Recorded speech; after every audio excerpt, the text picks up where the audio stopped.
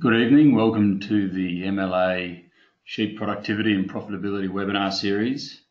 Tonight's webinar is focusing specifically on the drivers of winter pasture growth.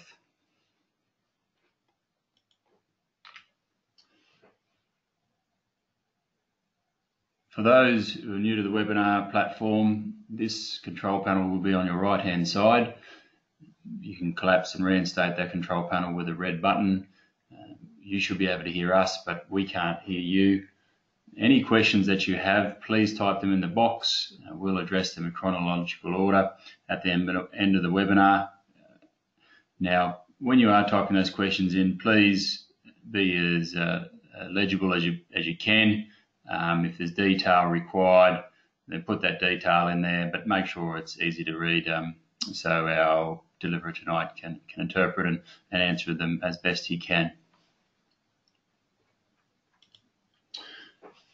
Just a quick word about next week's webinar. Well, excuse me, sorry, our next webinar.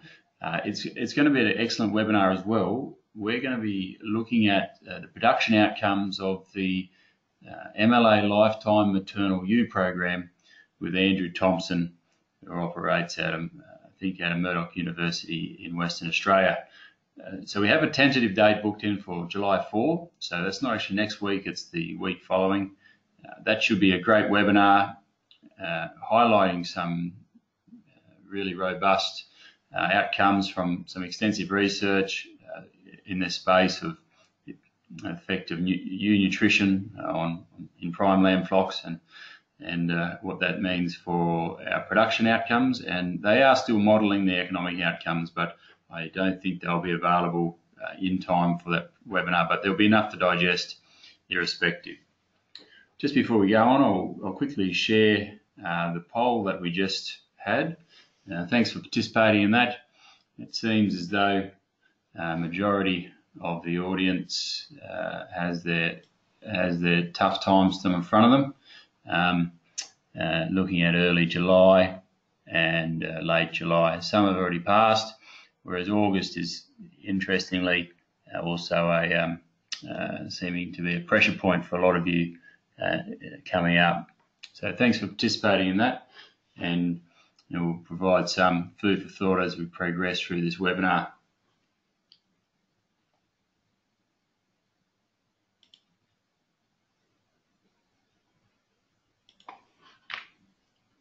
I'd like to introduce our presenter this evening, uh, Phil Graham of Graham Advisory. Phil's one of the best resourced industry personnel that we, we could have to deliver this webinar. Uh, Phil's a very direct and pragmatic approach to, to extension and often um, makes this uh, ambiguous space of pasture science quite clear and understandable and, and uh, has a wealth of knowledge to offer thanks to a long career working with producers and researching uh, how producers can uh, get the most from their pastures. Uh, Phil co-developed the CSIRO's Five Easy Steps fertilizer program. I know I've used that in the past, and Phil's also been the overseer of a long-term uh, grazing fertilizer trial Bookham in New South Wales, among a lot of other research orientated and uh, extension consultancy services that he's provided over a, a long career. So Phil's very well resourced and we're very glad to have him on board this evening. And with that, I'll swap screens uh, so Phil can be the presenter.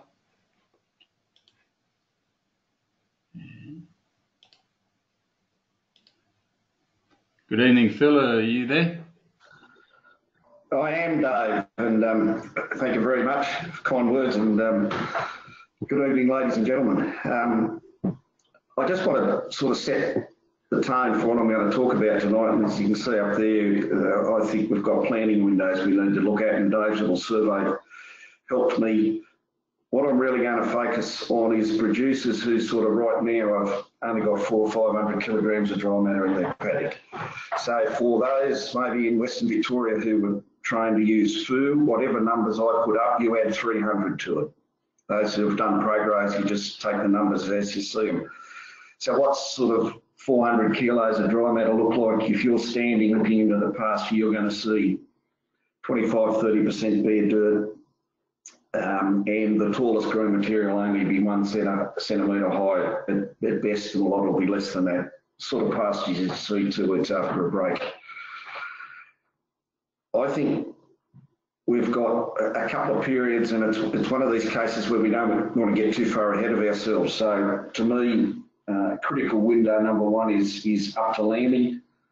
The comment there um, from some work I've just done, you know, every 1% um, death in the prime lamb system at present, uh, chewing up about 4.5% of operating profit. Um, so what we've really got to do is make sure we, we're feeding those ewes well enough that we stop preg-tox occurring and some of the other related things. Animals will go down. It's very hard to say it was purely preg-tox. It, it, ends up being a conglomerate, but it's certainly been occurring. Once you get over that window, I then think you then concentrate on sort of the first six weeks of lambing, where if you put supplements in, you're going to increase milk production, you're going to increase lactation length, so you get a payback. After that, it starts becoming a bit questionable. And for those, there's there's a few there who've indicated they may maybe been through the worst um, you know, if, if lactation's been compromised pretty badly by the season, um, the use of creep feeding or early weaning at, uh, from eight weeks onwards um, could well be something that those flocks want to look about and maybe that's the sort of thing we can pick up in questions because I won't really be dealing with that in the talk. So what can we do to lift pasture production? Um, the first point is absolutely critical. The next month, we are in the lowest period of pasture growth rate for everyone who's on the, uh, the hook up tonight, mainly due to temperature and day length. And um, temperature is going to be influenced by altitude. So some of the things I've, I've done lower down, I've, I've sort of used altitude as the, as the guides because that might help a wide range of people get a sense of where they sit. And as we go further south, um, becomes the problem. So if we're trying to find the, the sort of little spot where where it's most likely going to be the worst, it'll be in the Midlands of Tasmania because you've got altitude and you're on the way south. So there are things we can do. If by resting paddocks we increase leaf area index, we will increase growth rate. So think of all that green leaf as just a solar panel. If, if sun's falling on the ground, uh, potential growth's gone. So that, that increasing the leaf area, catching more sunlight will improve growth rate. And if we combine that with nitrogen and gibberellic acid, um, we can we can move ourselves to a, a higher level. But the critical thing is all we're doing is magnifying off a low base. So if we if we if we're resting paddocks and we're putting nitrogen and we're using gibberellic acid, we're not going to turn low winter productions into spring growth rates. It doesn't occur. We just add 10 or 15 percent onto what is already there. Um, now I think uh, there was a webinar a few months ago um, which was very good on that whole nitrogen gibberellic acid. So you might want to refer back to that if you want more details. The other thing I then just did from sort of experience is look at what sort of growth rates are maybe possible over the next month. And you see there, I'm assuming we're talking about a decent pasture and decent fertility. Like if the if the underlying fertility of, of the, the paddocks are, are, are pretty low, you can virtually halve the numbers I've got down below. So as I said, to try and put some relevance into the wide variety of people, different areas that are represented tonight. You know, we're above 800 metres, growth rate over the next month could be in the range of three to seven, depending on um, what the actual altitude is, um, depending on, on how the property lays. Once you get up to that altitude this time of year, um, aspect has a, a, big impact on what growth rate you can achieve. When you come down a peg, you can see we, we push up to 8 to 12 then we get into the cropping areas and, and the pastures are maybe 12 to 18, whereas the grazing crops could be 20 to 30, and the grazing crops is most likely very dependent in this year is, is when you got them in. And I've certainly seen some grazing crops of late that the lucky and got early rain who are most likely doing 40 kilos a day. So the, the, the, people who are in areas where you've got higher growth rate because of your, location, if you start implementing some of those things in point number two, your payback's going to be much greater because your inherent growth rate's higher. Whereas if you're the group number one above 800 metres, um, yes, using those things in line in point two will assist your growth, but it's not going to be massive. You know, you're, you're really being squeezed by um, temperature and length. Just a couple of issues I think you need to consider about um, the two products, GA up the top's just gibberellic acid. Um, you know, the sort of where I was focusing the talk tonight, we're talking about pastures with very low leaf area. So um, there's no doubt about it that the, the amount of leaf area you've got before you put the gibberellic acid it, has, a, has a big influence on the sort of benefits. So there's some paddocks um, where the benefits are going to be decreased just because you haven't got the plant material. But one thing we shouldn't overlook is that the gib will in fact increase pasture height. And if things are really tight, tight for twin bearing ewes, if you get an extra centimetre on the height of the pasture, even if herbage mass doesn't change, that's quite a critical thing, therefore the intake of the twins and how they're going to get through a difficult period. They're going to eat more, so the paddocks, you're going to go through it quicker, but it, it does help you turn a difficult situation into something that's maybe a little bit better. And the majority of view of, of, people around Australia that I sort of hear and talk to is that really, you know, it's best to use gib with nitrogen. When we come to the nitrogen story, um, of course we've had that dry period. There will have been good mineralisation been in the soil. So I think you want to be a bit careful on, on, on what paddocks you pick. Um, I must admit, from my experience over the years, I've tended to get a of payback of N when I've gone into paddocks that are grass dominant and haven't haven't been that great. Um, the important thing there is you've got to remember that a vast majority of time you put N on a pasture, you're going to improve pasture digestibility a bit. And if you get a two or three percent improvement in digestibility, that is almost as big a value as if you've grown an extra 300 kilos. And the paddocks where you'll have the biggest impact in digestibility are those ones that have got good grass, poor, poor um, clover and, and haven't been doing that well. So I don't necessarily go out and choose my best paddocks to put N on, which is not necessarily a view that's, that's accepted, but that's been my experience. Just as a, as a rule of thumb for people, you know, it's sort of a assume you'll grow about an extra 10 kilograms of dry matter for every one unit of N you put on nitrogen.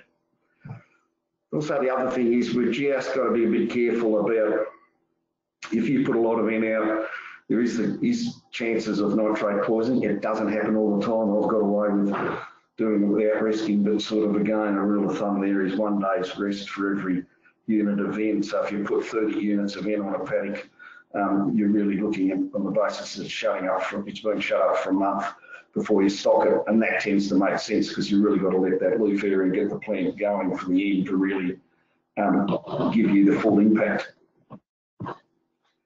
Now just trying to look into the future a bit with some fodder budgets. Um, and again, I'm starting sort of in the middle of June, assuming that there's 400 kilos in the paddock. Again, I've done it for three, um, like, uh, you know, altitudes.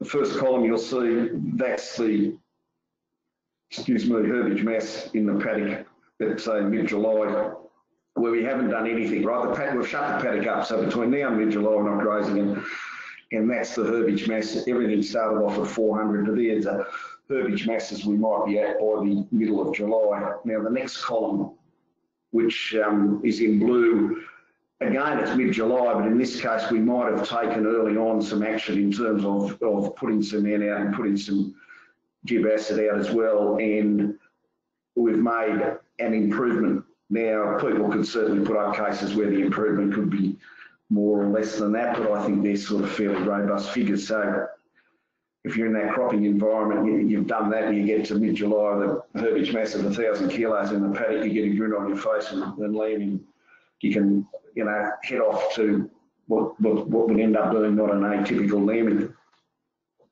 Um, the other two figures, uh, the 600 hopefully the people above 800 metres aren't planning to land in mid-July in that sort of environment because they're in trouble. Uh, yeah, 800, you get into a point where you'll happily land singles. Uh, geez, you can get away with twins without the wheels totally falling off, but you need to be a bit careful. And then we, we go through again. We, the mid-August, the third third uh, column across, that's if we're doing nothing. So that's just allowing the growth to come through. And if I look at the area where I sit at Yass, where we're sitting in that um, 600 metre altitude. By mid-August, we've got a thousand and, and potentially the year, you know, which is a pretty common lambing time. Things are sitting okay, and if you if we go to a bit more effort, um, we're certainly reaching figures. And the higher country, which would normally most likely be looking at lambing dates in late August, they potentially are getting numbers where things starting to look okay. So it's anyone who's slamming sort of, I think August has has a chance of of pulling things around. It's really the people who are into it you know, very soon who are still looking at numbers which would be difficult. Now, that's all achieved by the fact we've got paddock shut up. So if, if nothing's grazing, we've got to have the stock somewhere. So what I've done here is look at um, two groups of animals. So up the top, we've got sort of crossbred ewes, and I'm sort of saying that these crossbred ewes um, uh, not pregnant, fat score through are about 75 kilos, so it gives you some idea of the size. At present, with twins in them, they're going to be up in the high 80s, and 60 kilos merino ewes, which might have terminal cross progeny. Now, to try and give some relevance to people across a wider spectrum, instead of describing the pasture in kilograms of dry matter, I've just tried to describe it in height because when we're in a tight situation, height's the most most critical thing. So our pastures, um, if we've started off late, our pastures aren't going to have density in them and most likely another six weeks. So it's the height of the pasture that becomes critical. So you can read the numbers there and you can refer to these later on yourself. But for this crossbred ewe who's twinning and is going in the last month of pregnancy, on, on, on, on a pasture that's one centimetre high, if we're going to feed them such that we're ensuring we're not going to have prep we're looking in the order of 850 grams per head per day of a cereal type thing. Now, that feeding rate does not totally stop weight loss, but it brings weight loss back in the realms where the animal should not fall over. As the pasture jumps in height, it goes from you know the 850 down to 650. once we get to three centimetres, um, we've moved a hell of a lot way and we're in a lot more comfortable territory. You can see the figures for singles, uh, much smaller, just logically during demand. And once we go down to the merinos, it's the same principle. We've got a smaller animal. Um, and so our amounts just drop away. And, and if we get down to the singles in those merino ewes, things are looking okay. So hopefully that gives people a bit of a guide. And if you remember the comment I made earlier, if, if, if gib acid does nothing more than move your pasture from one centimetres to two centimetres, it does have some influence in intake um, that you need to hold those animals. But bear in mind, if all it's done is increase height, you're still going to chew through the paddock um, pretty quick because it's made it more available for the stock to consume.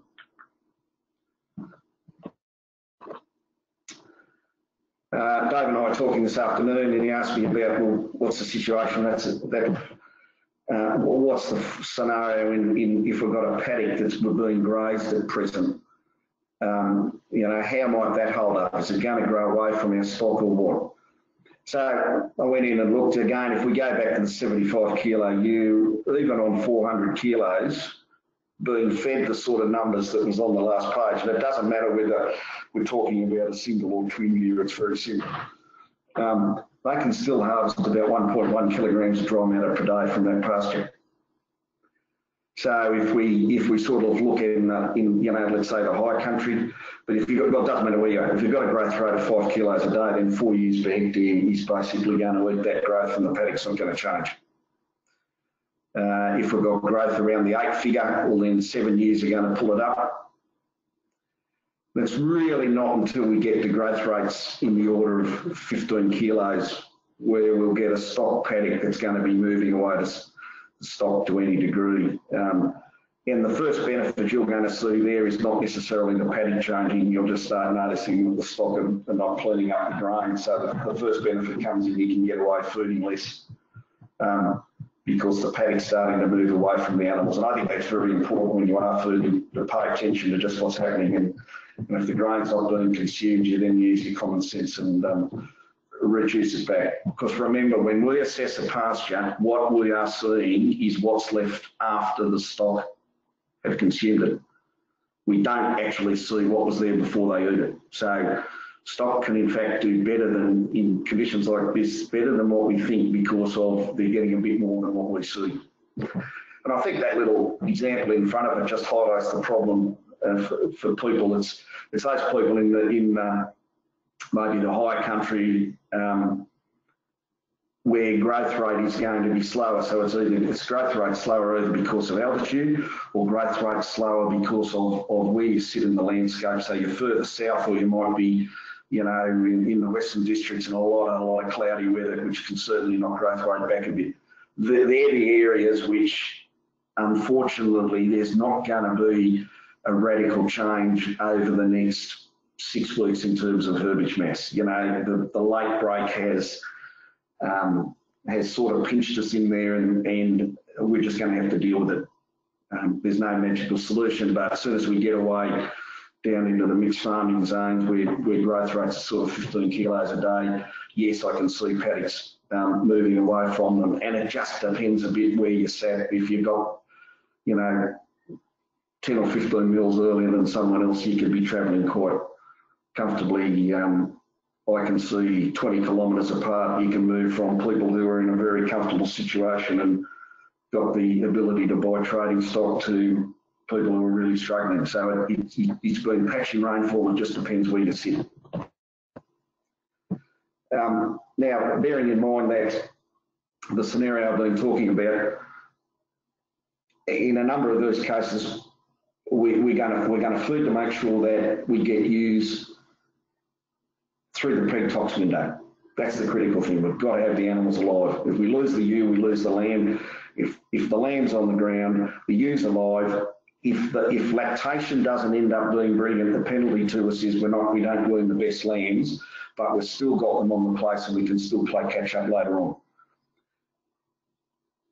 We are we still we have people who are going to have to continue feeding into lambing. There's just there's just no way around it. You know, you, you just can't stop when the first lambs drop because there's still a heap of um, late pregnant ewes you've got to protect. So a lot of people are going to feed. Is there is there a magical way of feeding without causing um, mismothering? No, there's not. It's a case of minimising the losses. The two methods that are available, you're using feeders uh, a couple of critical things with feeders. It needs to be a feeder where you can control the sheep's intake, so it's got some sliding mechanism. Know, there's less time in the lambing paddock because of that. But if we don't get the number of feeders per the ewes correct, it's my view you are better to trail feed than than put feeders in the paddock and have too few. So I think um, once you get above about 220 lactating ewes on a feeder, the problems start increasing once you go above that. And if you're, if you're trying to use a feeder for 400, um, you can have major issues. Um, one thing that certainly occurs in, in maybe some of the higher country, the weather we had last weekend where we had some um, pretty difficult weather blow through, and it's not the fact of what it's like for the day, it's what it's like in that three or six hour period when the worst of the front comes through, they'll basically stop eating in that period. And once the weather fines, they can suddenly go charging back because they're a bit hungry in the feeders. Normally, they just work themselves casually so they everyone gets a chance. If something stops them and they all go back at a rush, you can get these smothering events um, under feeders, which I think certainly in areas prone to bad weather which is principally rain and wind, you just need to be aware of that. So I have had experience over time when that became such an issue that some people um, moved away from the feeders because it's just something they're having trouble managing. We go to trail feeding, there's no doubt about it, you get a better control over them out, provided you know how much you're feeding out. Uh, in years like this, you really do need, if, if the animals need, I put numbers up before, you know, if they need 800 grams a day, you need to be confident you're somewhere around that. It's not much point saying, oh, I've got no idea, I just put some out and, you know, we'll see what happens.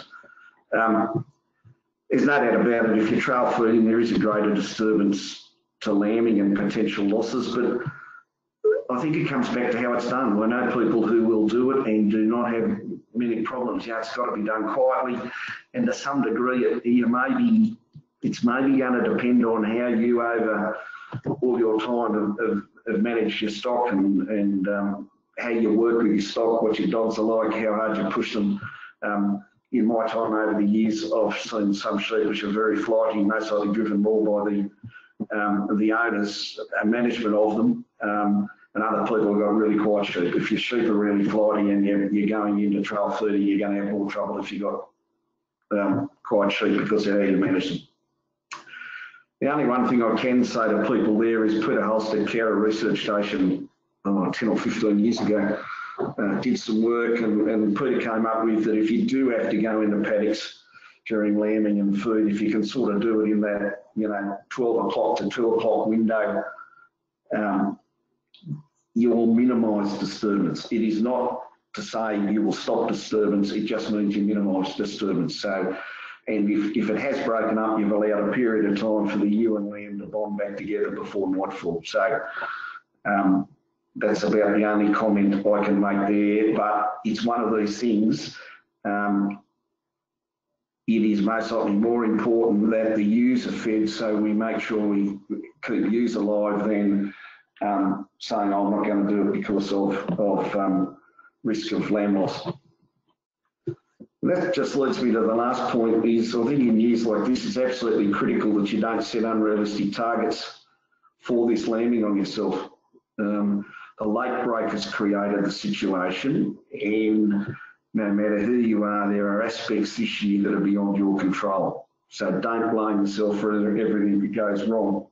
And that's not to say that you don't give yourself a kick up, you know, when, when you made a mistake, but that, you know, learn from mistakes and move on. I'm seeing a lot of people uh, right now who are really um, uh, knocking themselves, I think unjust, unjustly criticising themselves for what's happened on their place when really um, They've thought about it. They've put a plan in place. They got good information to put that plan in place, but nothing, no plan can turn a difficult year like we've got into something brilliant. And I think it's important that you just back off. Um, talking to a mate the other day, he chose the wrong time to go and get his blood pressure checked because it was through the roof and the doctor wasn't going to let him out. Um, he got a little blood pressure meter, and after he got uh, 25 mils of rain, he took his blood pressure and it's dropped considerably. Right. So you know, just take it easy on yourself. Dave, that was the um, the guts of the work. Mind you, look, I just remembered I made a major area error back on this one, not an error I forgot. Up the top, I've got calcium and magnesium. If you're feeding grain, um, grains are low in calcium, not magnesium, calcium and sodium. They're low in sodium and they're low in calcium, and we need to put it out. And I've certainly seen um, problems, certainly with calcium this year. Um, it just didn't get into the diet quick enough, and even though people were, were feeding something that had calcium in later, they had problems. Um, and where we need magnesium is if we're, if we're putting these animals on the grazing, certainly grazing weeds, we then need, need magnesium, but in a pasture scenario, we certainly need calcium and we certainly need sodium when those sorts of rates of, of grains are being fed. Right, thanks, Dave. Cracking webinar. Thank you, Phil. Much appreciated. Now, I'll just give you a, rest for uh, two or three minutes there, Phil, uh, to gather your breath. And now, excellent closing words on the human aspects of feeding. I know it's a it's a drudgery and a, and a stressful uh, uh, stressful time for a lot of people. So keep it in mind. It's, it's it is a environmental factor that we have to deal with as farmers uh, from time to time. This one here has been exceptional. Don't forget uh, the post-webinar survey. If you want to leave any ideas or uh, some feedback for MLA or us as uh, presenters, uh, to then take that opportunity and the feedback. We do look at that. We do uh, consider it. We provide that to MLA and we provide that to the presenters, uh, net of your private uh, contact details. Um, as said at the start, we have a webinar coming up potentially on July 4, but you'll have more information on that closer to the date. It's going to be taking a close look at that lifetime maternal uh, you work that MLA have been funding. Uh, some really good research there, led by a similar research team that has developed the Lifetime Ewe Management course. So um, there's a, a, bit of pedigree in the uh, in those who have pulled the work together, and, and, a great opportunity to hear some of the preliminary production results uh, with the economic um, analysis pending. Phil's got uh, his contact details there, no doubt he'll be available for people if they want to uh, be in touch with him about um, you know, his services and uh, and the stuff that he can help you with your business going forward. And there's a there's a few resources for this topic. Obviously, the Making More from Sheep website has got a range of um, pasture growth rate uh, data and, and, estimates and um, a few a few few things like that. So make sure you jump online and have a look when you can. Uh, a good chance to take your uh, to send a few questions in. Phil's kindly offered to stay online for as long as we need this evening uh, to answer as many questions as he can.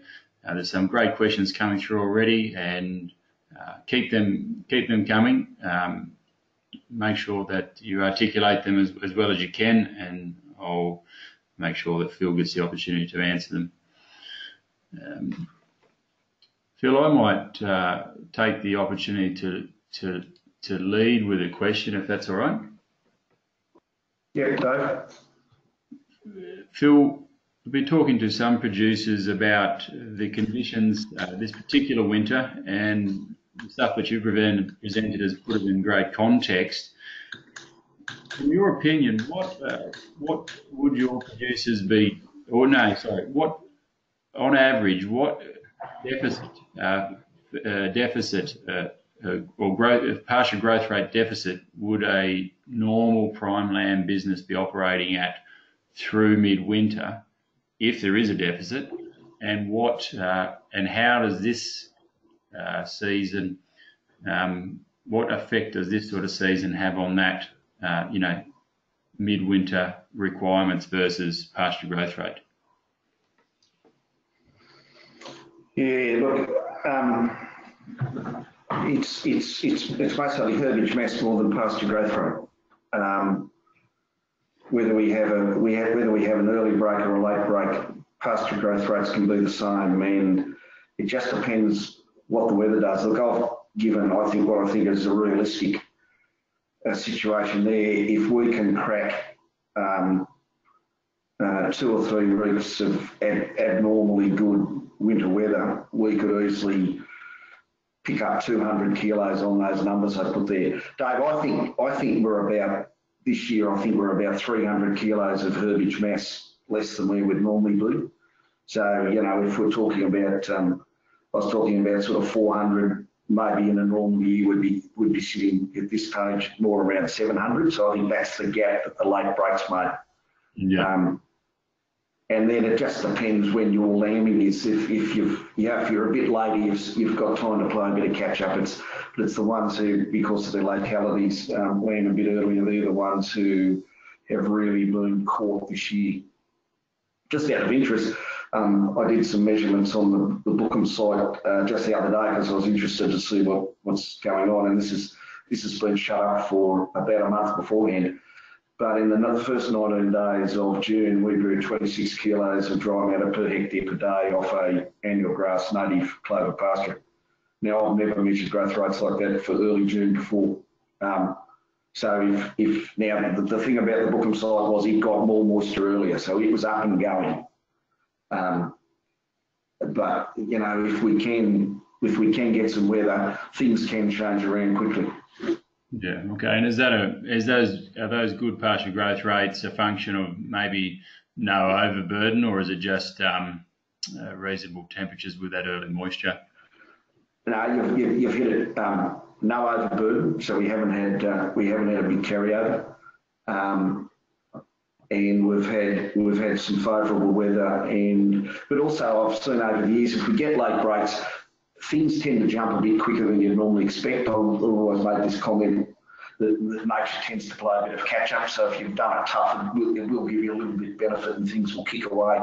Um, I forget when it was, um, maybe late 90s, early 2000s. Remember the season broke on the 10th of June and everyone thought our throats were cut. And by the end of June, we were walking around saying, oh, this wasn't quite as bad as what we thought. So things can respond. Um, and uh, so you want to you want to keep an eye out and look at the look at your pastures and, and do some assessments there. Just get a feeling for um, what's going on, and and um, and that can therefore influence what you might do. And, and that, that comment I made before about you know keeping an eye on they cleaning up the grain because that's most likely the first you will see that before you'll see pastures move.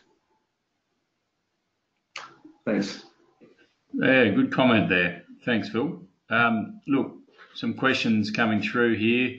Uh, Casey asks, um, with regards to soil temperature affecting growth, uh, what, are, what are your sort, sort of key um, key ranges in which soil temperatures start to affect different pasture types, Phil? Yeah, look, it's, it's interesting, you know, soil, soil temperature is a function of air temperature. So the, top top one centimetre in the soil runs at a five day five day lag of what air temperature is doing. So it's really following behind. So I, I, I, to be honest, I don't tend to tend to look at um, tend to look at soil temperatures.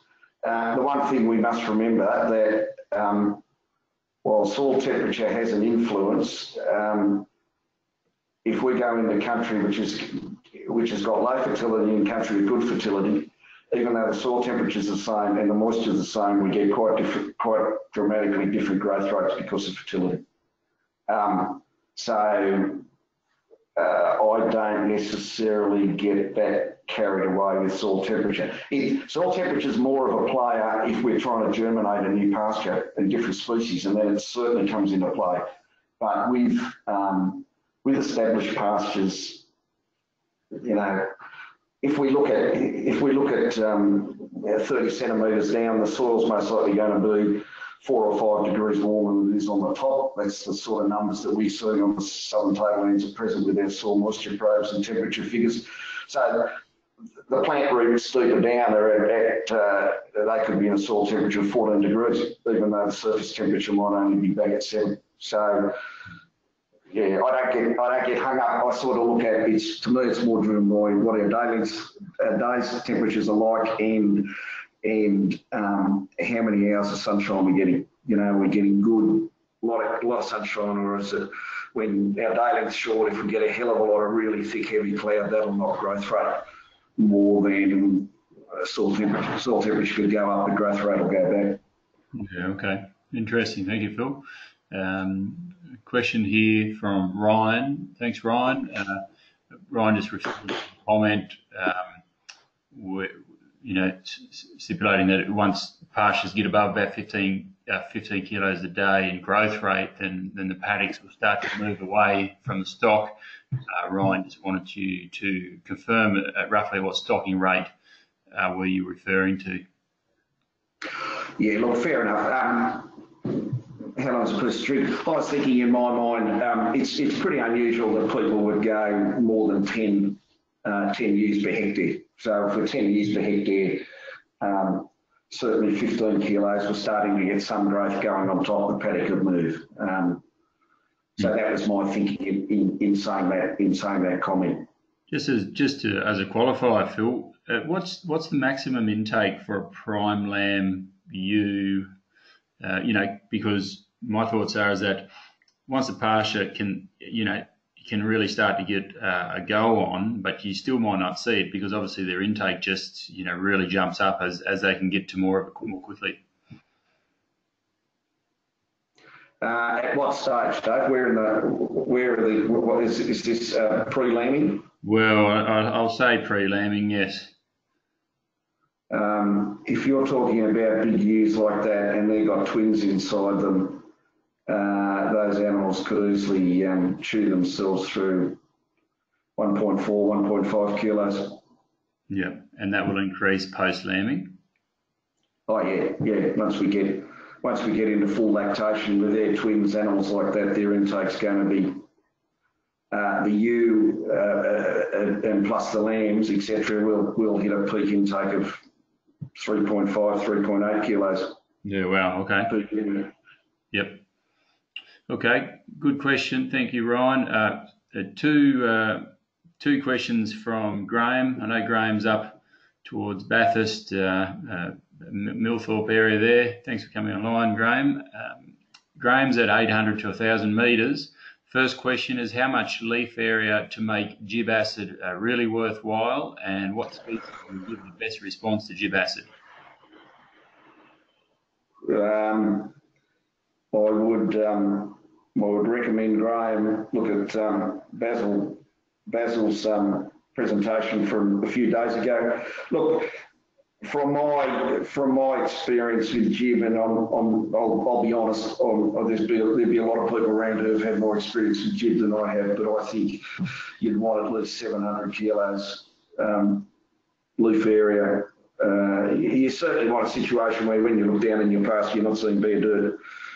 Um, species, from my experience, um, you know, our phalaroses, our ryegrasses, uh, those sort of um, pastures, I've seen better responses. I did work maybe 10 years ago on some native ones and we didn't, they didn't really move much, but I must admit they got put on in a pretty tough year and there wasn't much leaf area. So might, that might have been more driven by leaf area than, than species. Hmm. Thanks. Um, do, do check out uh, Basil's webinar. It's up on the Making More from Sheep website, and he does provide um, um, dry matter targets for the application. Another question from Graham. Uh, they, they didn't apply this super in autumn this year, but they still do. They still have their fertilisers on hand. Uh, they're wondering whether they should apply the super now or should they wait until early spring. Um, if Graham could confidently tell me what conditions are like over the next two months up there, I'll give him an answer. Look, um, look, if there's been if there's been good history of of of phosphorus into it, I'd most likely hold off till till um, springtime up in that sort of um, area. Uh, if if there wasn't good history, well then I might be willing to go, but I'd be going on on I'd be putting I'd just be putting it on some of the better paddocks. So that why why not do everything now? If if you go with everything and suddenly it turns um, surprisingly really wet and waterlogged, you will get a you know slightly bigger tie up and putting into the system now isn't going to be a magical cure um, for growth in sort of the next month you know, nitrogen will do something that plays a longer term payback. Yeah. Okay. Thank you. Uh, just a quick question, a quick no, a quick comment from Casey. Thanks. Um, they've fed corn and lupins through a super spreader, and they suggested that worked uh, during lambing, and they suggested that worked pretty well. It's it's it's a it's a great method. Um, but it's it's dependent upon your environment and soil type. So there'd be some there'd be some environments and soil types where you just get a bit too much wastage. So the, the wetter the wetter the area and and um, yeah, if if you can do it, it's it's a brilliant way to do it. Absolutely, no question. Yeah, Ripper. Okay. Um, Dale, thanks. Is there a preferred number of twin ewes per feeder or just a few less than singles? Question. Any anything more To Yeah, look, again, it's a piece of string answer. If um, 100 twins twins per feeder is better than 150, um, 150 is better than 200. Look, it comes back to um, uh, what have you got and and I would rather, if I'm if I'm short of feeders, I would rather put, um, say, uh, one to 150 or 180 twin bearing ewes, um, and get that right. And and that might mean I've got some other twin bearing ewes where I haven't got a feeder. I'd rather get the right number in, in the paddocks and, and use trail feeding the others than try and say, oh, well, I'm just going to stretch my, feeders across all these paddocks. Um, from my experience, doing the stretching tends to come unstuck more. Mm. Okay, thanks, Phil. Um, question here from from Alex. Thanks, Alex. Is it worth applying nitrogen uh, to a majority clover pasture? I think your payback would be um, your payback's going to be less. So from a, a straight a dollar return, um, you're not you're not going to get anywhere near the return doing that than if it was if it had grasses in it. Um, you know, even even now, um, the clovers will still be producing nitrogen themselves. They'll be keeping it for themselves, hence their dark colour. So putting more in into the system, they've already got their supply. Um, so personally, if that was my decision, I wouldn't be doing it. Yeah, right. Yeah. Yep. Now, um, Katie, thanks, Katie. Uh, should we be mixing supplementary calcium and sodium through the grain, or just offer it as a separate lick? Um, I'm totally comfortable it being offered just as a separate lick.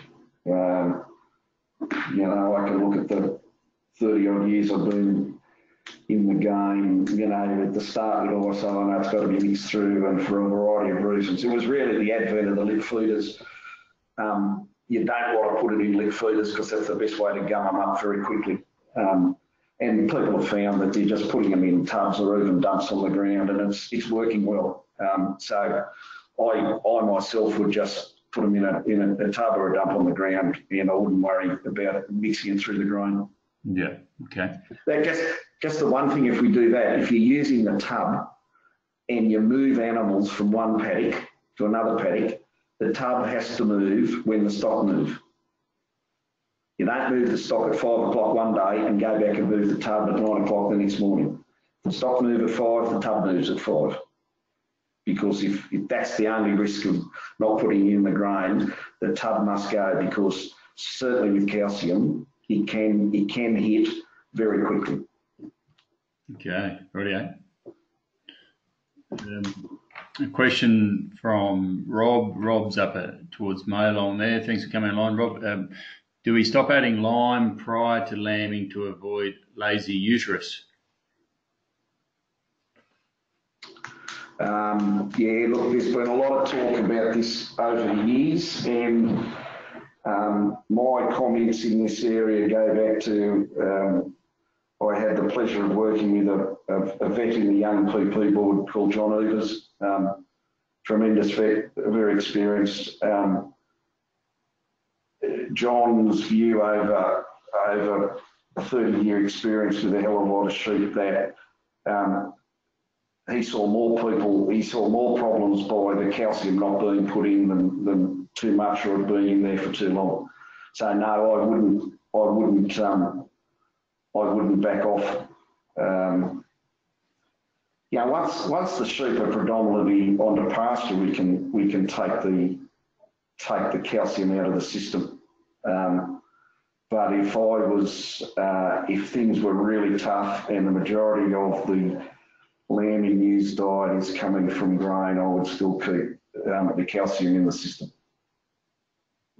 Okay, thank you. Uh, question here from Ken. Um, great talk, Phil. No BS. Uh, how many DSE do you consider a 75 kilo first cross ewe with twin lambs? And would you advise some hay to go in the paddock along with supplementary uh, supplementary grain? Uh, right, I might start at the back and work to the front of the question. Um, hay, look, that's going to depend on what uh, the paddock is like. Um, if the paddock is if the paddock is is really really really short, having some hay there, I think it's benefit it's beneficial. Um, if we're in a situation like that, then this is easy for me to say. I prefer it to be good hay than just straw. Um, hay can play a role if, if there's um, um, some rough weather coming along, like we've just experienced. There's benefit in putting some hay there to act as a bit of a, a buffer for them. Um, as the pasture starts to get to get away, hay's difficult to get, hay's very expensive, and we will get, in a sheep operation, we will get far better value from our dollars spent on grain than on hay. But if you've got some in a particular situation, there can be benefits, but I wouldn't regard it as a high priority. Uh, what do I rate the DSE rating of? Um, oh, they're going to be. We would have we would have crossbred animals running around now whose DSE ratings not much below three, 2.8, 2.9. Mm. If we're if we're if we're taking account of the ewe for the 12 months and the growth rate of the progeny to the point of weaning, which is really how we did how we did. That was the sort of the that was the norm of assessing what's the capacity of the ewe. Once once the lambs are weaned, they then become a different question. But it's herd performance for 12 months plus the, the, the those two progeny. The quicker they grow, the higher the rate. Um, is that a three like a 12 week weaning or a, or a, like out, are you going beyond the 12 month window on that? Oh, no, no, no, that's the, just being wounded about 12 weeks. Yeah, right, yeah. Okay. Thanks, Ken. Good question. Really good questions. Um, now, David asked a question uh, about soil temp. Uh, we might just skip over that. We've got a fair few questions, and um, Phil, you, you're comfortable that you've addressed soil temp appropriately? Yeah, look, yeah, it's um, yeah. I've got nothing else to say. Okay. Um, uh, Casey's got a question here. Thanks, Casey. Plenty of questions. Uh, when grain is hard to get, how do we manage the change to different types of different types of feed? Yeah, right. The the um, uh, if if you can you know if you can get it such that you can shandy your old feed with your new feed over a week, um, that'd be great if if that doesn't work out and, and the way things are this year, um, that's most likely not going to work out. Um, I tend to sort of so if I'm if I'm feeding X grams per head per day and I've got to go onto a new feed, the first feed of it, of it is only 50% of X. Um, and then I might give a couple of foods of that, and then I'll go to get up to 75% of X another couple of foods, and then I'm back to the rate I was at before. So that might be depending on your feeding regime. You know, it might be over a, um, a week or eight days that you're going to get back to what the rate was. But um, I'd even, or even if even if I'm feeding the same, let's say I'm just feeding wheat, when I get a totally new batch of wheat, I most likely just drop it back to 75% straight away because even even batches can, can be enough to to cause a few problems. Yeah, right out. Spot on. Thanks, Phil. Phil, I'm going to just cast ourselves across that question we received actually in advance of the webinar. Uh, thanks to Oliver. He's the first person out of 60 or 70 webinars that I've delivered that actually started asking the questions before we've even ran the webinar. So uh, thumbs up for proactiveness. Thanks. Uh, hi, hi, Phil. I'm anticipating a very tight winter lambing in Western Victoria. I've never supplementary fed before if I am to start, what are the key recommendations to to limit disturbance and mismothering? Right, so it's oh, we're assuming this is this is lambing, um, feeding after lambing. Um, well, I suppose the, the the key things I think, as I, as I mentioned about Holsty's work, of if you're going to do it, you know, do it in that midday to early afternoon. Um, do it in a in a quiet, considered manner. Um, you know, some people it's a, the way their dogs work or the way they ride a motorbike. Um, some people will charge in and try and get it done um, exceptionally quick, and other people will just maybe take 10 minutes longer in that paddock, but do it in a bit more considered way. Um, the more you are considered and just observant of where the animals are, um, I'd sort of, you know, the old cliche, a bit of, you know, stockmanship about just noting the stock. Um, but I, I, also make that comment, back up the comment I made earlier that, you know, it's, it's a tough season, you've got to do it.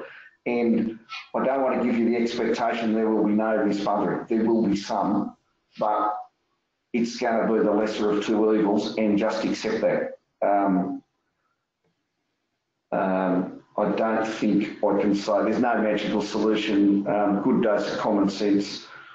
Um, be observant and take your time.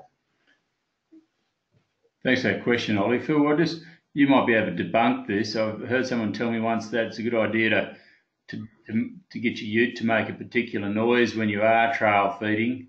Um, I heard that someone put a you know rang a bell when they were trail feeding, which meant that yes, the, the ewes would chase him like crazy when he was trail feeding, but at least the next time he came into the paddock and he wasn't ringing the bell, then there was nothing to associate distinctively with the trail feeding, so he minimised a bit of disturbance through that. Is that something you've heard before, or? No, that's a, that's that's a first, but um, look, animals animals learn from association. Um, there's no question about that. So I wouldn't necessarily um, say that that's that's a load of rubbish. There's, you know, part of me says, well, there could be some sense in that. I think I think the critical thing is it's, it's how you've it's how you've sort of handle your stock over time. It's really going to be the determiner of, of how big a problem you have. Um, and and someone doing that, you know, that just maybe set up that little association. I just go back to um, no names, no factual, but we had a contractor come through the district about five years ago. Um, whose whose team were not that good in, in terms of stockmanship and the impact that had on stock, how they behaved in the paddock and how they behaved in the yards after that. This one contracting team, and you could just follow them around and all the owners complain. You know, we can we can have a very negative or positive effect on stock, how we buy, how we look after them, how we manage them, that, that common sense part. And I think, yeah, if you've got to do it, if you do it in a in a you know thoughtful, considerate, sensible way, you can get away without being a disaster. But don't set your expectations that there'll be no losses. Yeah, thanks, Phil. Um, question here from Chris. Chris has been a webinar supporter for a fair while. Thanks, Chris. Uh, they're above average ROO numbers seemingly this year. Uh, what, what, roos, what impact do roos have on your um, your dry matter intakes and, and you know obviously your feed budgeting? Well, um, when I did those numbers there, I was assuming there was no roos, and if you've got um, if you've got massive problems, they are going to have a very, very big impact um, on your operation. And in fact, the place I was on recently, the decision that was sort of we we made after looking at the property was that the best thing that could be done for that property was that um, an organised shoot was undertaken. You know, they, they got the permission to, to, get in and take the numbers, and that was done because that was going to have a, a quicker turnaround on on this country than anything else we did. So yes, I agree. I've seen um, some of the heaviest concentrations of roos that I think I've ever seen in my working life over the last two months. Yeah. Thanks, Phil. Um, Phil, a question here from Alana. Alana's from south of Wagga down towards Mangoplah. Good to see you online, Alana. Uh, any experience with ewes not grazing winter active varieties, we have a Lucerne pastures four, four centimetres high. The lactate, lactating ewes don't appear to be touching it. Um, could we get some quick feedback of how long they've been in the paddock for? Yeah, for sure. Lana, just um, let us know how long they've been in the paddock and any other particulars that you think may help Phil with that. Well, Lana said they've been in the paddock for two weeks and they're still not touching them, seemingly. Maybe three weeks. Hmm. No, radio. Um, no, listen. Um, well, I suppose two things. Um, if it's if it's a Lucerne paddock, uh, after three weeks, they if they weren't eating anything, they would have gone backwards very quickly, and you would notice it. And if they if they haven't changed in their appearance, it could just be that um, uh, the growth rate of that paddock is in fact equal in consumption, so you're not seeing any change. Um, uh, but the stock are consuming it. That to me, I, I, would think that is more likely than they're not eating it. Um, because otherwise, if they've been in three weeks, you would have really seen some problems. Now, maybe you have. Um, and if that's the case, just move them out. I can't answer why. Um, um, animals animals have uh, behaviour traits that we don't understand, and um, and sometimes you just move them on. You, you bring them back in that paddock three weeks later, and they'll behave differently. That's about all I can say. Yeah, Alana, thanks you. Thanks, Alana. It's good, good to see you online. Uh, Sam, Sam's provided a question here, Phil. Um, it's, it's a bit long, but I'll uh, I'll read it and we can interpret as we go. Phil, with the table showing a 75 kilo crossy, the 60 kilo merino, etc., with one and two centimetre pasture heights at the top, uh, those uh, and those things for the intake of each ewe, single and twin, do they show a reduced intake to satisfy demand with the addition of gib acid and nitrogen?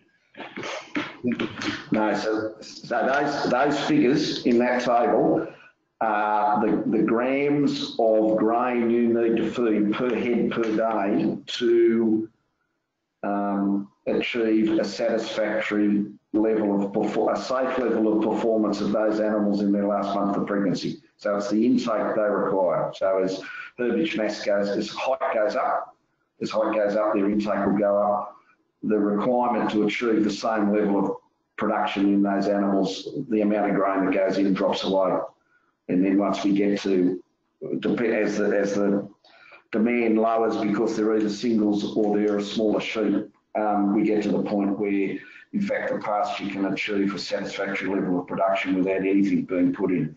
Um, what the nitrogen and gib acid will do could enable a pasture to move from one of those categories to the category next to it right? And certainly, certainly with gib acid, it's it's possible for that paddock to maybe gain an extra centimetre. So therefore, the animal's ability to harvest goes up.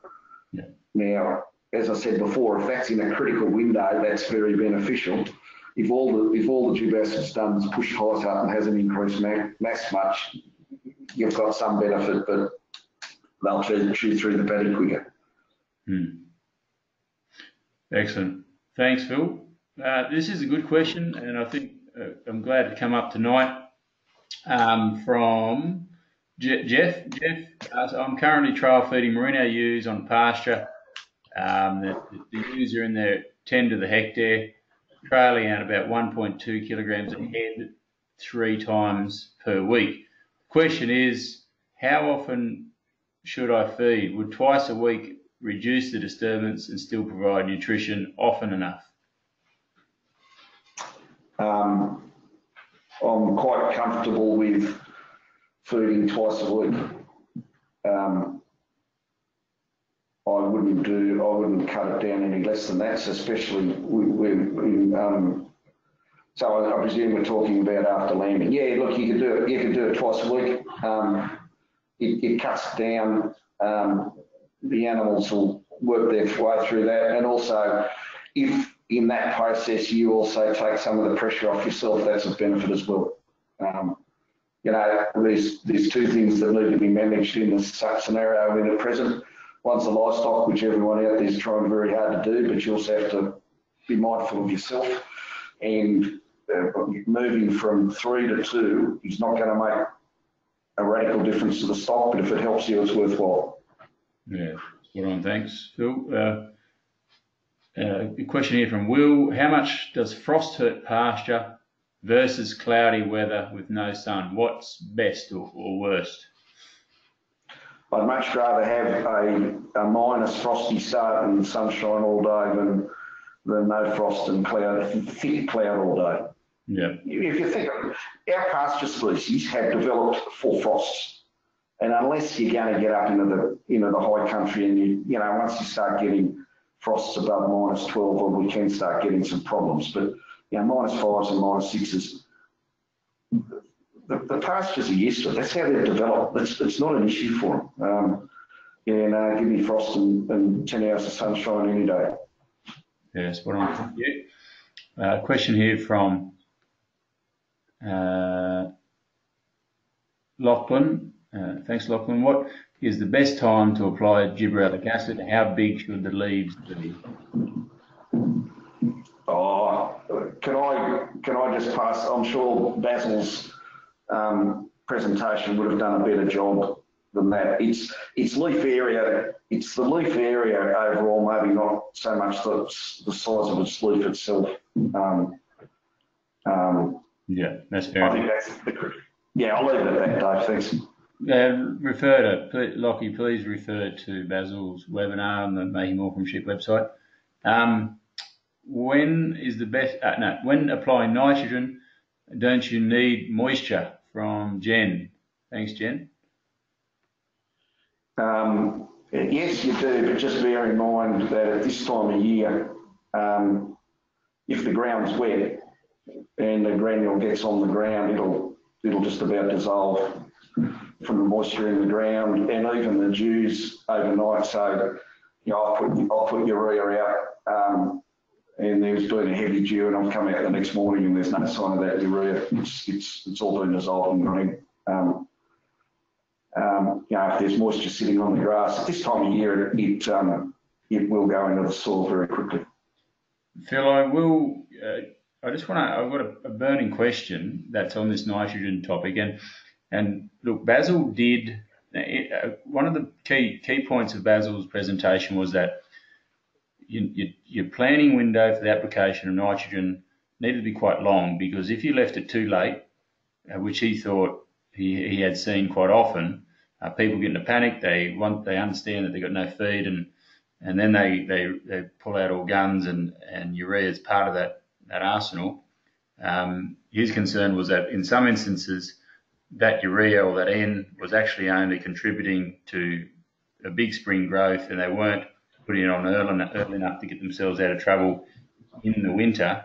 What's your opinion on when is it too late? When, you know, it's going to be uh, circumstantial for each different regions, but um, pick a location and say when when is it going to be too late, and it's only going to start to kick when the spring kicks anyway. Oh, Dave, I think you, I think I, I, I'd be spot on. I agree with Basil in, in that scenario. That you know, if you if you, uh, to me, if you're if you're in trouble and you're thinking of putting N out on some selective paddocks, um, I think you'd be wanting to do it ASAP. In in a month's time, I wouldn't be worrying about it. Um, you know, obviously, if you go a bit higher, you've got a little bit more time, but um, yeah, that's right. There's no point, no point putting the N, and I think it also comes back to the rate you're going to put out. Um, you know, there's no point no point putting a massive amount out, which is really, you know, you just haven't got the growth now to utilise it. So that uh, big licks of N is going to come into spring, and I'm not interested in that. So um, I'd agree. Um, it's I think the windows the windows sort of rapidly closing, and um, I'd be going on. I'd be going for rates that are maybe a bit more on the conservative side than heavy side because I'm just trying to get that kick I'm really trying to get a kick over the next six weeks. And after that, I think the season's going to look after itself. Mm, so ASAP or, or yeah, okay, I see what you're saying. And and the, and the other thing is, I think you need to be selective. You know, just don't just don't think, oh well, I'll throw it everywhere. Um, you know, I've done over the over, over the years, I've put nitrogen on on paddocks where I have not been able to see a difference in growth. I see no visual difference in terms of colour and I see no visual difference in growth. So if I'm not seeing that, it hasn't been a massive jump, whereas I've gone to I've gone to other country and you know within five days of putting it out, you're starting to see the impact in terms of, of colour change and then the growth coming after that. So I think you've got to be selective of where you spend it. It costs money. Um, yeah. Okay, that's great. Thanks, Phil. I um, got a few other questions here. Just uh, I'm just looking. We've probably got about another half a dozen questions and a few comments here. So um, thanks for everyone for sticking with us, and I appreciate that some people might be needing to get off to bed. Uh, we've still got 106 online, so we've still got a, a, big audience. Thanks everyone. Um, don't forget that survey if you are going to pull the pen and hit the hay, um, and don't forget to keep your uh, keep an eye on your email and text for that next webinar. It's going to be a cracker. And um, we've got Andrew Thompson and, and that, that, the work that he's been doing, uh, Lifetime Ewe uh, work. Um, uh, just a comment here. Thanks, Shane. Uh, tips to avoid lambs con contracting pink eye when supplementing feeding used upon lick feeders. Um, oh, sorry, no, it's actually not a comment, it's a question, I think. Uh, have you got any tips to help uh, uh, lambs avoiding pink eye when supplementing uh, using uh, lick feeders? And um, yeah, cool. Uh, yeah, thanks, Dave. Um, I was hoping it was going to be the tip. Um, no, no, no, I haven't. Um, there are there are two different causes of two different organisms cause pink eye. So interestingly enough, on the southern tablelands, we get more problems with pink eye in winter for reasons we don't understand than um, sort of the more conventional pig eye that's just, the pig eye that's associated with dust. Um, no, I've got no um, I've got no magical solutions there. Um, I'm afraid. Sorry, I can't help. No, for sure. That might be a question, Shane, to, to direct at your local veterinarian. They, they deal with this uh, quite often. Uh, question here from Ryan. So if a first cross ewe with twin lambs has a DSE rating of 2.8 to 2.9, does the DSE rating cover the ewe and the two lambs up until weaning, or do we need to account additional DSEs for the two lambs since they are also grazing prior to being weaned? From Ryan. No, that, that figure I quoted covers the ewe for 12 months and the lambs up until weaning. So the, the, the, lambs up until weaning is, is accounted for within that within the rating, and then once they've weaned, they become separate separate items. Yeah, that, that makes sense. Thanks, Phil. Um, a question from Kathy. For the punter, any suggestions for something to sow now for spring feed? Uh, ryegrass, question mark, oats, question mark, something else, question mark. I don't know who the is, Kathy. I don't know. Is it you? Look, look, um, it's going to depend a bit, a bit on on um, your environment, and I'd be wanting to put a bit of thought into what I might be going to use it for. Um, those those two things mentioned, ryegrass oats, um, you know, um, they can both go in there. They have the capacity to come up quickly. Um, but my thinking, if you're doing that, you're doing it on the basis that you're most likely going to graze those through and graze them out, or unless you're looking at maybe getting um, some fodder off it. Um, the other option, if you've got some country that's pretty bare and you're thinking of maybe a, a bit further ahead, you know, maybe that country could be set up for something like brassica, which is going to give you food um, in that late spring, early summer window. So in most localities, there will be a range of um, things that you could sow, but I'd be doing it. I'd be doing it because I've thought through of where I want to use it, and you know where where's going to be the best benefit. And then once you've decided where it's how it's going to best fit into your your, your food plan, that would then to me determine what what you what you, you sow. So I'd, I'd I'd work that out rather than just say, well, I'm going to sow X. Yeah, right. Yeah, perfect. Thank you.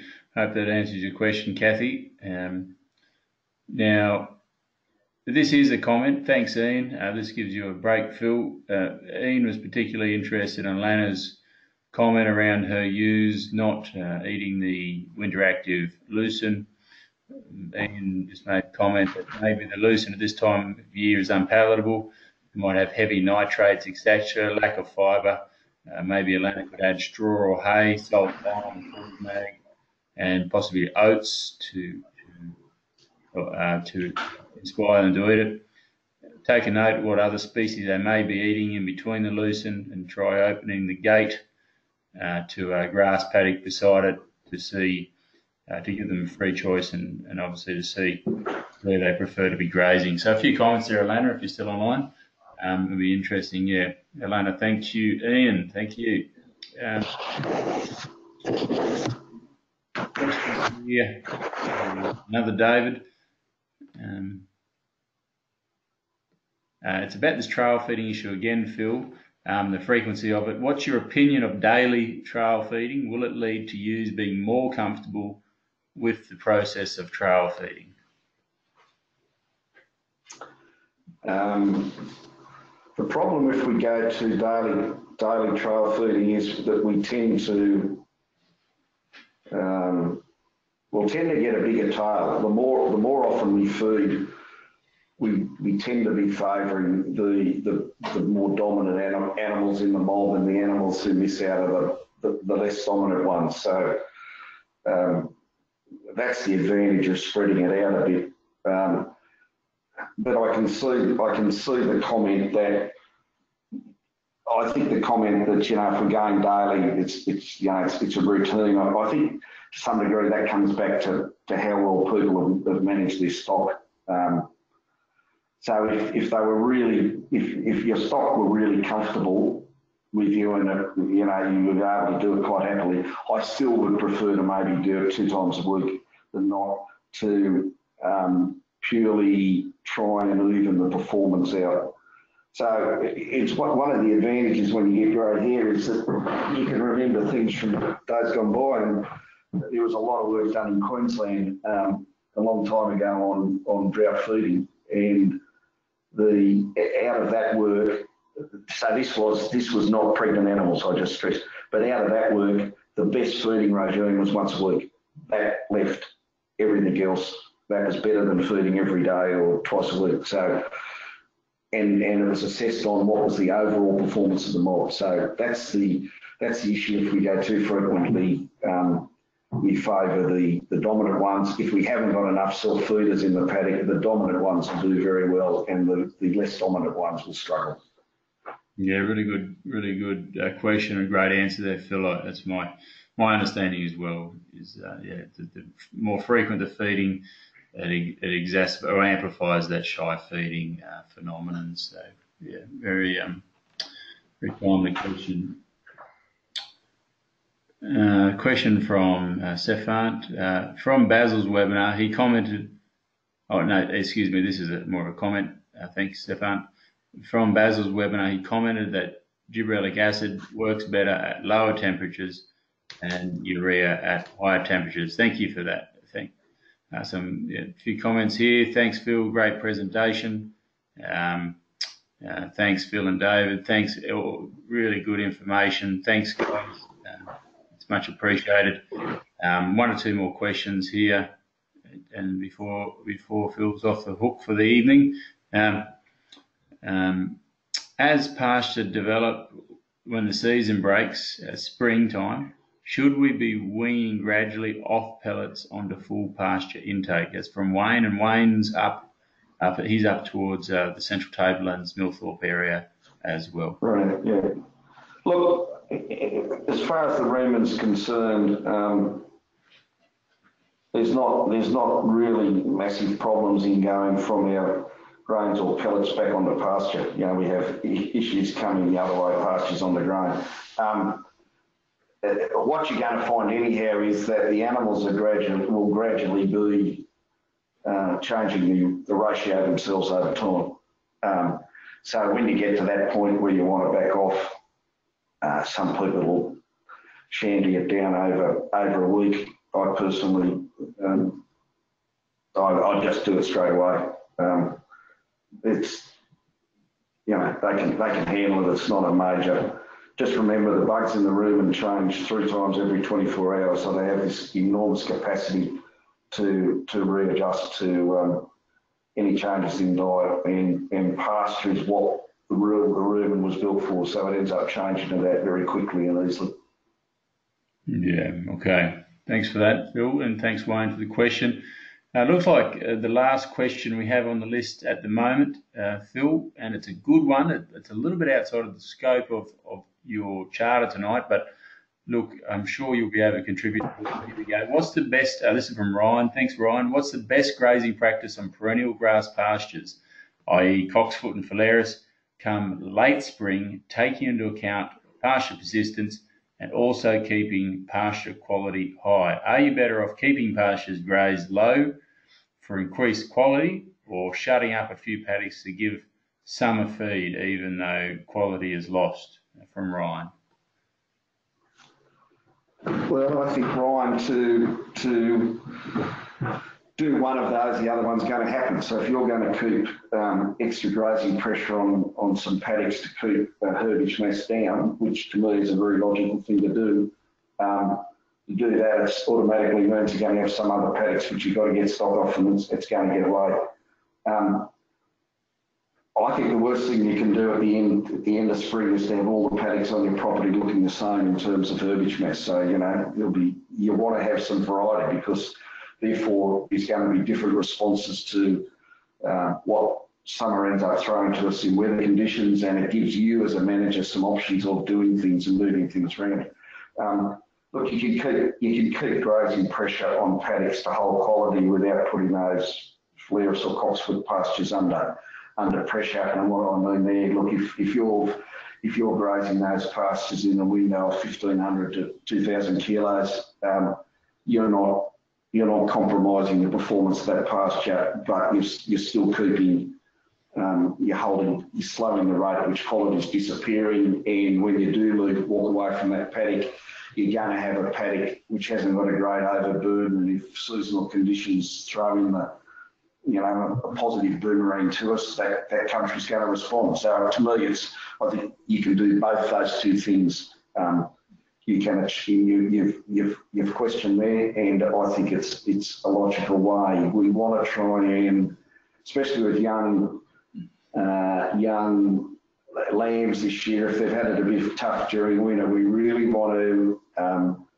keep our pasture quality digestibility going as long as we can in the spring to to try and get an extra three or four kilos on them just because we're grazing them on better quality.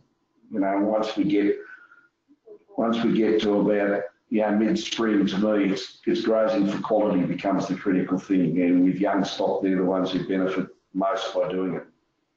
Yeah. Okay. Great question. Thanks, Ryan. Uh, we have had one more question come through, Phil. Uh, it's related to the once a week feeding. What's the max amount that you could feed out in the once a week feeding regime, uh, i.e., with barley? Um, well, if you went back to if you went back to this this uh, drought work, so it was it was a full ration, which was being being fed once a week. Um, so that would depend on the size of the stock, etc. But you would have been up over three kilos.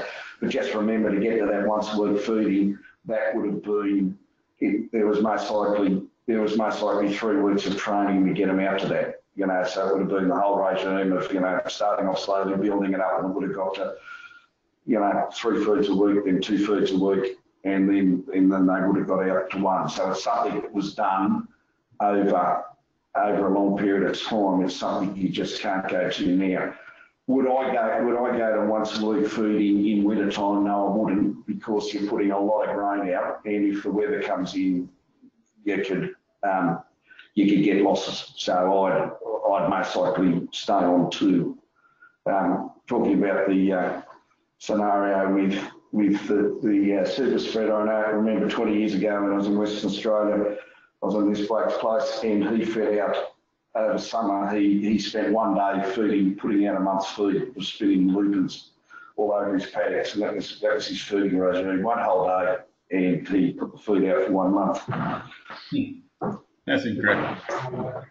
But he was, he was where, where he was, he was exceedingly confident he wasn't going to get water on to ruin it. Yeah, they are. They are experts at summer, summer and autumn feeding over there. Um, look, there's no more questions uh, from the audience, Phil. I might just take um, just take the opportunity to ask one quick one, and I think it would be of interest to a few of them.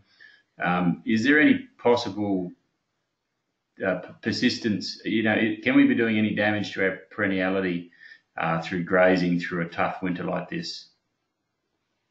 It's exceedingly hard to damage damage plants at this time of year. Um, the, the greatest damage we do to plants is um, in autumn and in perennial plants in autumn and in summers where we get on and off rainfall. We most likely do more damage in that sort of maybe January, February, a rain event comes in, we take all the green, it dries off again, another rain, we take all the green. That's most likely damaging plants more than than what we're doing now. Um, we're certainly slowing them. So if we keep if we keep uh, grazing the same paddock time and time again, we will we will certainly hold growth rate back. But um, if you go and look at that paddock in early or late late September, you might be very pleased how it sits. You know, some of the best. I've seen some pretty lousy paddocks which ended up being used as a, a sacrifice area, and six months down the track, it was the best thing that ever happened to that paddock. Yeah, right.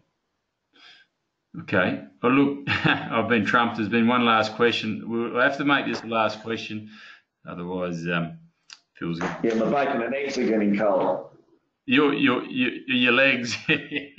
no, I said I said the bacon and eggs are getting cold for breakfast. Yeah, yeah, we'll be we'll be we'll be there in a minute. Um, Ryan just asked what we're backing. Uh, if you if you reduce your trail feeding frequency to once or twice a week, would that affect bacteria activity in the rumen? No. No. No. No. Well, I suppose the, the research might not have been specifically a bacteria, but it, it showed that it worked, eh? Yeah, look, um, um, your obviously the, the feeding the feeding the feeding rate is going to be determined by what's the food in the paddock. So you know if it's if it's only a small amount of food you need to put in as a supplement, and you're feeding that twice amount twice a week. It's a small amount of grain going in.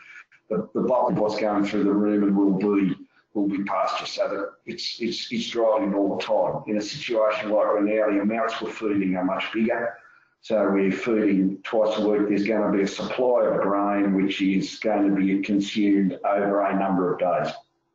Um, so that's that's that's providing um, that's providing the resource for the rumen. Um, it's not as if they're not eating anything on on a on a day, and, the, and it takes a while for things to process it. So there's there's material there for the bacteria to be working on. Um, um, that that rumen is an incredibly uh, dynamic organism. I, I hear it's mainly out of the cattle industry. People talk about, oh, you get a dead rumen at the end of winter. The only way to get a dead rumen is to have a dead animal.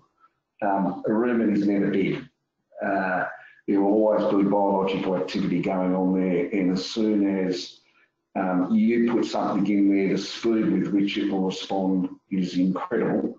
It's the, it's the speed with which it responds when it starts breaking down grain that causes acidosis because it produces too much acid too quickly.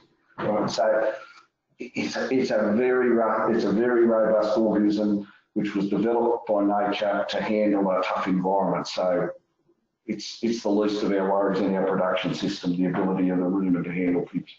Yeah. Okay.